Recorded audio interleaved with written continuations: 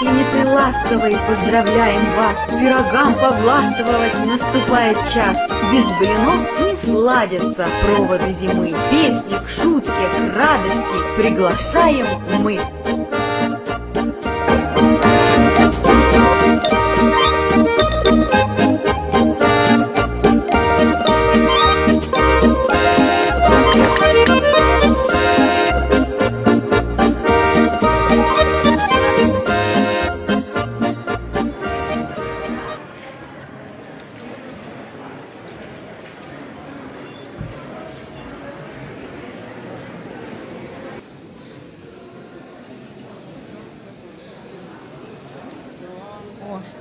Какая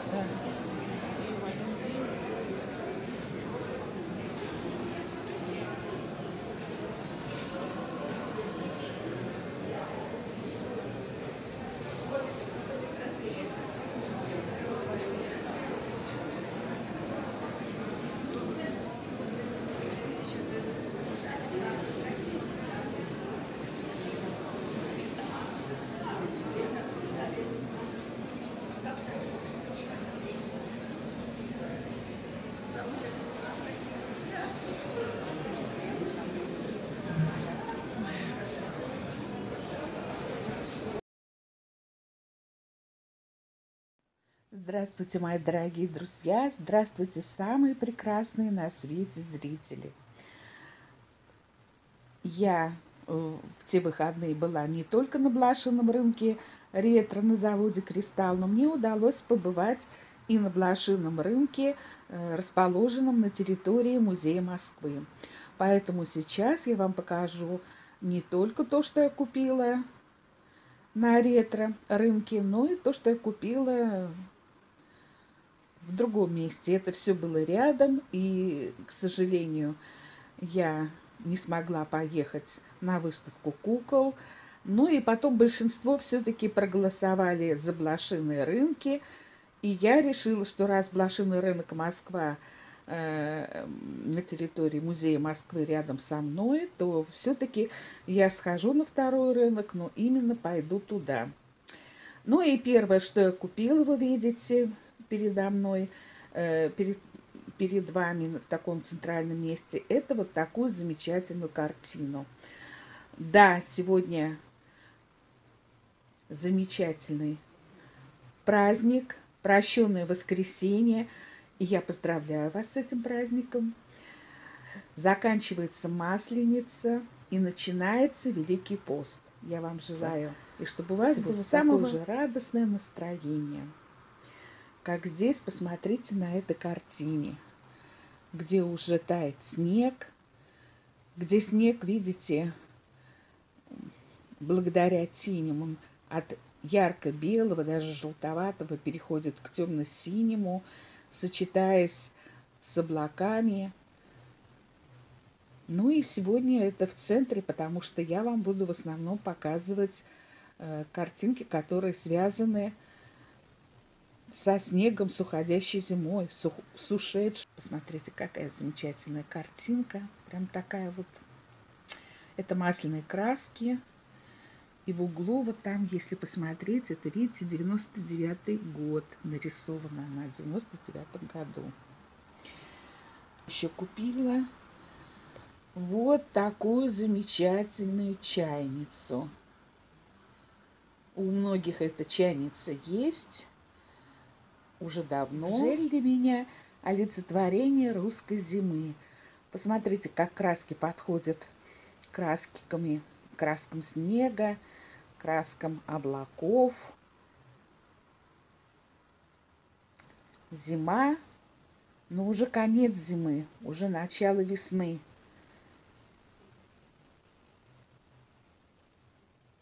Белый с голубым, переходящим в синий красота. Сила. Снег, снег. Так, ну а на каком рынке я купила ее, честно говоря, уже сейчас что-то и не помню. Но мне кажется, что я ее купила как раз, ну да, где-то на блошином рынке на заводе «Кристалл». эта чашечка, там, кстати, очень много действительно гжели. Ну, очень много вас стало. Ну, вот посмотрите. С моими любимыми розочками.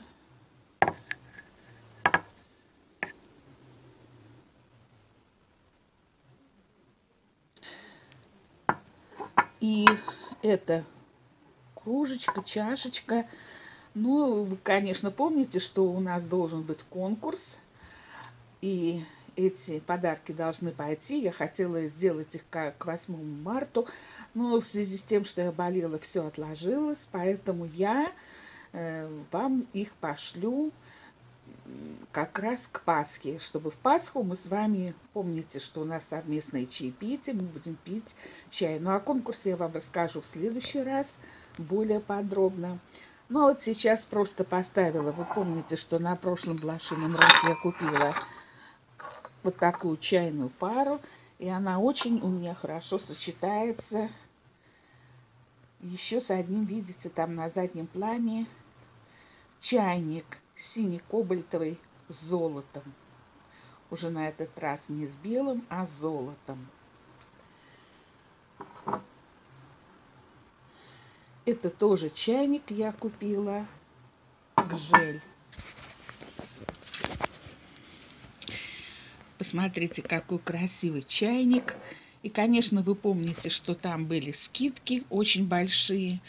И я этот чайник купила со скидками. Ну, он достаточно большой такой, красивый, столько позолоты, нарядный. Но я его купила очень дешево.